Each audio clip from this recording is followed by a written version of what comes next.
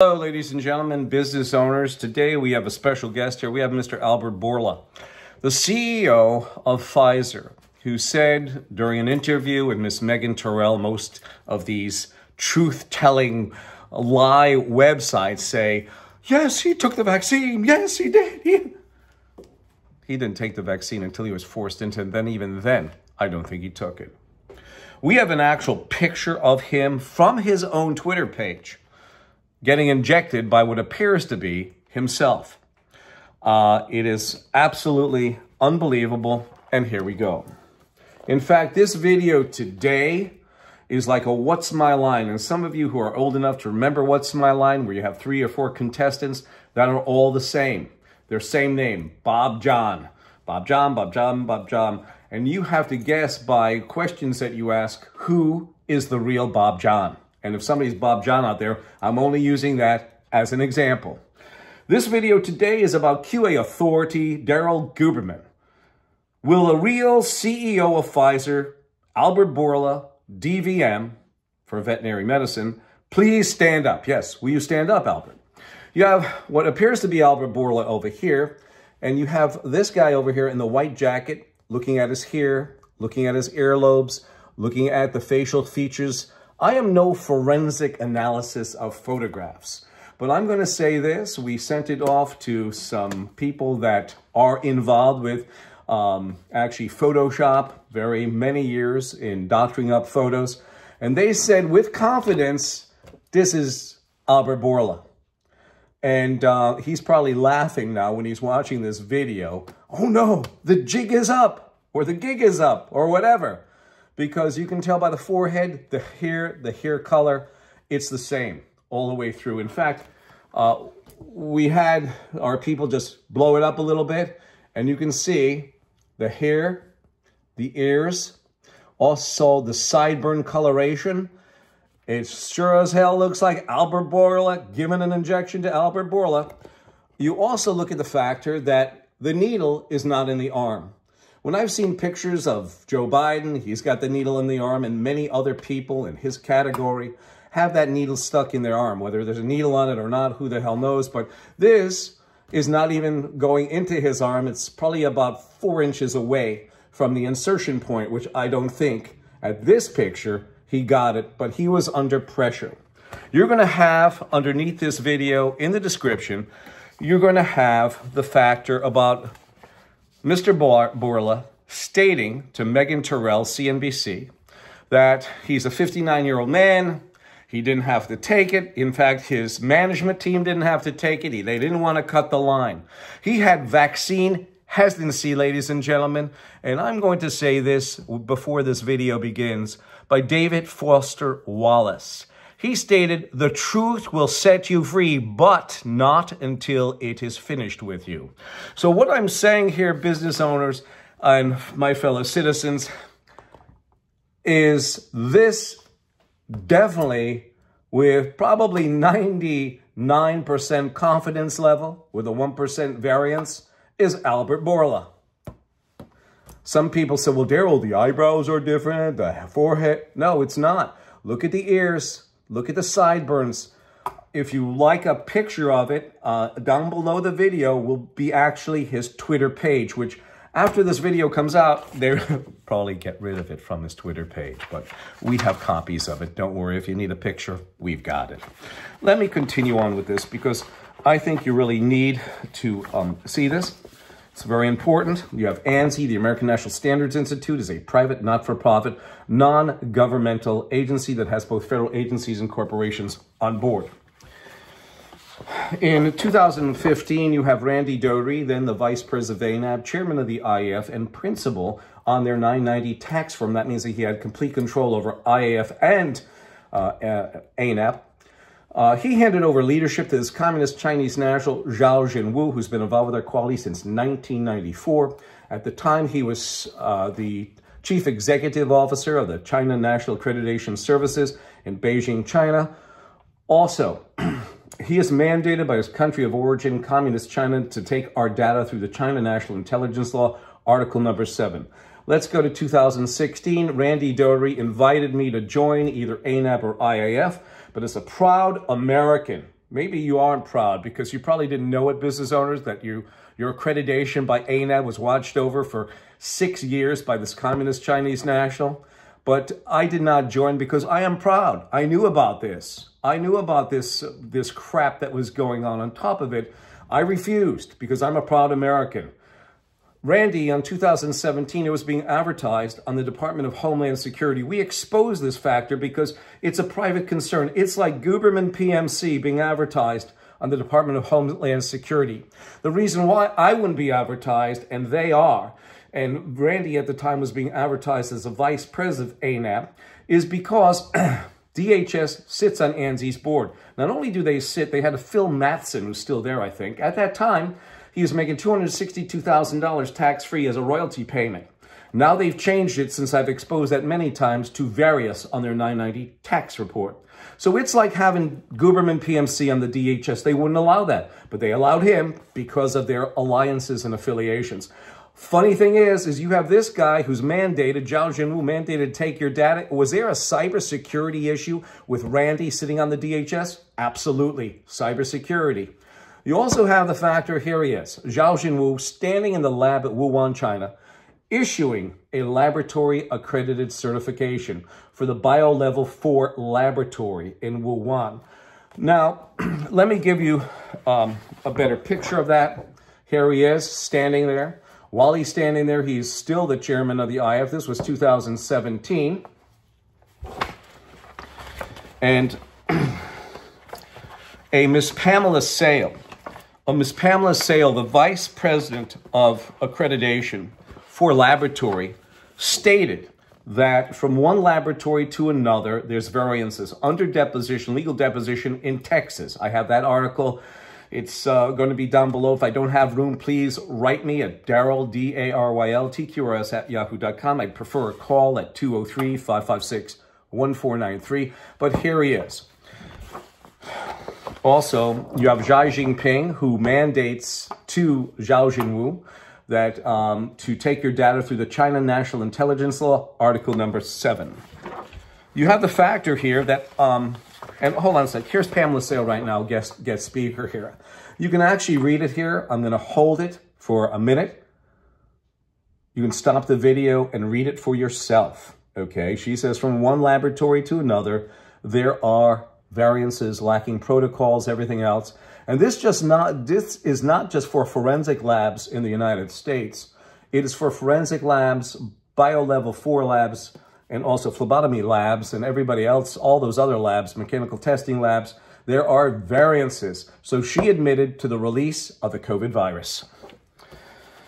To make matters worse, in 2017-18, a bunch of uh, uh, individual specialists went to the Wuhan laboratory.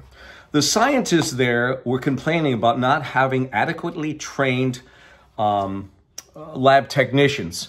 Well, you have over here, Xiao Jianhua issuing a certificate. I guess he didn't check the efficacy of these technicians who were in the lab because he issued the laboratory certificate and you had a situation in the lab that they certified that didn't have enough technicians that were properly trained.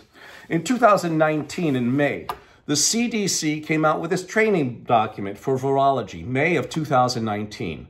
For virology, laboratory, level four, bio level four. That's a high, that's a highest level in uh, hazardous viruses. And the only organization, the only company in China that it was talking about, the laboratory, is Wuhan, China. On page number three, it states, and here it is, I will read it to you.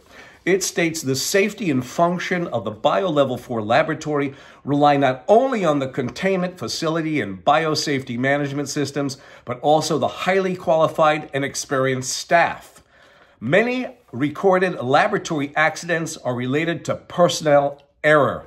So he handed out a quality certificate that was not really quality bearing a piece of paper, they got their cash, they ran, and they didn't have properly trained technicians, which should have been one of the uh, quality, um, uh, you know, they're, they're doing an audit. It should have been part of the audit for certification to see that they had enough qualified staff. Well, they didn't. And you can see what has happened in that avenue.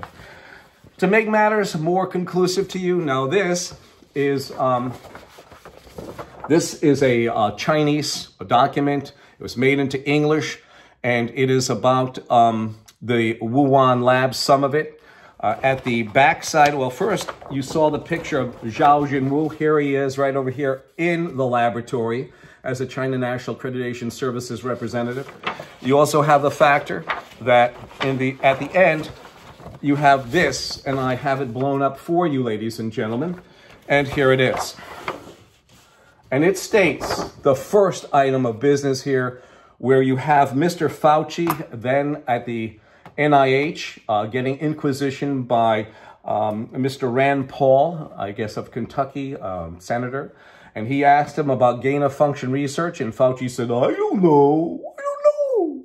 Well, here it is right here. And this was from May 17th and 19th, 2017, upcoming events, second China-U.S. workshop on the challenges of emerging infections, laboratory safety, and global health security. Number one, gain of function research, gene editing, targeting, and delivery of novel biotechnology. If you look at this, ladies and gentlemen, you can stop the video, read it if you'd like. Uh, you're going to find out that this was talking about pandemics back in 2017. You also have the factor of Pfizer sitting on ANSI's board. You have Pfizer that skipped quality processes and standards that uh, maintain an ANSI ANAB uh, quality certificate throughout the uh, supplier's supply chain. Not only that, any accreditation body that sits on the IAF is equivalent in accreditation to ANSI ANAB. And remember, they are underwriters for any of these other accreditation bodies worldwide. You also have the factor of the CDC sitting over by the FAA, I mean the FDA, and also sitting over by Pfizer. You also have the factor of NIH sitting there over by the CDC, FDA, and Pfizer. You also have the factor that this proves that ANSI ANAB are underwriters taking full legal responsibility of not only the system failures, but also failures in product. ANSI took over complete control over ANAB in 2018. ANSI took over complete control. On top of that, they were sitting on the IAF, the International Accreditation Forum, as members, but they are also underwriters. I've showed you this before about Iran sitting uh, on the uh, IAF, and uh, they are, of course, equivalent in accreditation to ANAB. Uh, I'm not going to get here and show you another placard and bore you with that. But you have Iran okay? Iran, I don't say this about the people in Pakistan. Of course, not the people, but politicians. You have Iran who says he wants to see the destruction, Khomeini wants to see the destruction of the United States of America. And, and they're, they're subsidizing Hamas. So what is it saying about your ANAB accredited certificate on the wall? Daryl, well, I have to take the road of least resistance. Yes, well, while they're use, utilizing monies to pay Hamas, you have your certificate up on the wall that ANSI and ANAB, I guess, support Hamas. I haven't heard otherwise. So here's what an underwriter is. You can read it. I'm not going to read it for you today. I want to keep this video short. Here is the actual one of the government contracts we have that call out ANSI ANAB as an underwriter for the IAF as I told you. And you have the factor, of course, that uh, ANAB sits on ANSI's board. It is a sad state of affairs. You have the FDA that sat on ANAB's board as well. We have that, uh, you know, back in 2017, 18. You have the FDA sitting on there. So everybody is harmoniously getting along. This is what happens, like Albert Bourla with this picture, um, with this picture showing that injection. And it's a sad, it's sad. Um, it's sad. It really is. Without a doubt, uh, my, my personnel said that that is probably 99% with confidence, Albert Bourla. They're probably going to not come out with anything because they're laughing all the way to the bank, Pfizer is. You have the factor of uh, obfuscation. That's what all these companies use, whether it's in medical or aerospace, like uh, Boeing is really in the shitter because the FAA made Boeing an FAA regulator in 2009. We've showed that to you before in other videos. And uh, obfuscation is the action of making something obscure, unclear, or unintelligible. And that's basically when you look at this, this picture of Albert Bourla. It sure as hell looks like Albert Bourla. And you know why I can almost guarantee it is? Almost. Is when he told Megan Tirrell, I'm a 59 year old man, I don't need to take it, I'm not in the front line. And he had vaccine hesitancy to take it. That's what it is. And his board members did too. Is this why so many people are having health issues? Because he knew something about this shot that he wouldn't let you guys know. Isn't that terrible? Made you panic, made you jab. That to me is not American. That to me is socialist thoughts, communist thoughts. Everybody do the same thing. Unbelievable. My telephone number is 203-556-1493 or Daryl, TQRS at yahoo.com. Today, again, this video is about QA authority Daryl Guberman. Will the real Albert Bourla, veterinarian, CEO of Pfizer, please stand up? Thank you.